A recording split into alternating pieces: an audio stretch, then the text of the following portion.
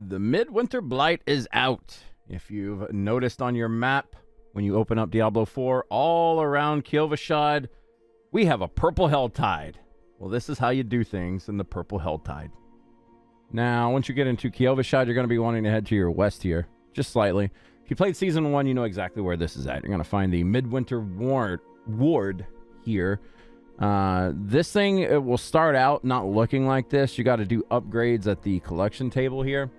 Um, as you can see, you're going to need blighted fragments. You're going to need lost heirlooms, and you're also going to need red cloak trophies. Um, you trade these in for these midwinter proofs, which you use these midwinter proofs to purchase items in the shop. All of these are mostly, well, most of these items are just glam items, pretty much. Um, there are some things down here at the bottom. I'll move my camera so you guys can actually see all this. But as you can see, there is an aspect here that, eh, I mean, other aspects are better. This is something fun to play with, though, if you just happen to want to try it out. Um, there's also Midwinter Spoils. This will give you gem fragments, random stuff, potential dose of Gillian's Brew. Gillian's Brew, on the other hand, is actually amazing. This thing gives you 15% max life and lucky hit chance and experience. 15% to all that. That's pretty solid for one bell.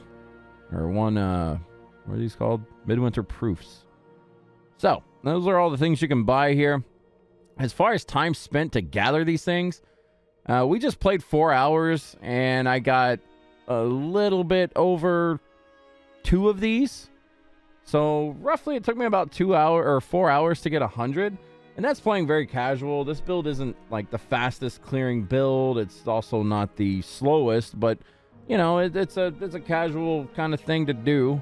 Uh, if you're running around outside Kyovashad, you can get this done pretty quickly. It's not going to take you too long. If you have a character to level up, it'll be even better because the 15% bonus to XP while you're doing something else, it's kind of a, a win-win there. Overall, I think that uh, Blizzard did better with this than they did with Abattoir of Zir. I mean, it's two separate portions of content here, right? Abattoir of Zir is just kind of a high-end, one-shot city kind of thing, versus this is more of a casual, just kind of relax, do it at your own pace. You have plenty of time. This won't go away until I think, what, January 23rd, if I'm not mistaken, around that time. So you have plenty, plenty of time to get this done. No, no rush, which is that's a good thing.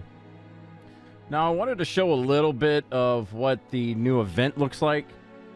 This event is what causes the Red Cloaked Horror, the new kind of special enemy that you run into, the, the Santa Claus looking goat man.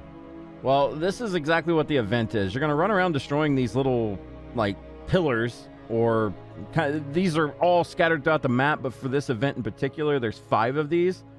Um, now, all around the map, when you blow these up, that could be a goblin, an enemy, a group of enemies, things like that. But for this, it's just for the Red Cloaked Horror. So he pops out, you kill him. He's not really a hard fight. Uh, our, our build doesn't really do a ton of damage in the first place, but he's not really a hard fight at all. Uh, kill him, you get some of the currency to spend to get yourself some of the, the new goodies, and that's really the quickest way to do things. Find this event and do it over and over again. And over again. What what do you guys think about this? Let me know in the comments below. Do you like Midwinter Blight? Do you like Abattoir of Zir? Do you hate Abattoir of Zir? Let me know in the comments below, guys. Hope this helped you out a little bit on what to do, how to do, all that jazz. Take care. We'll see you on the next one.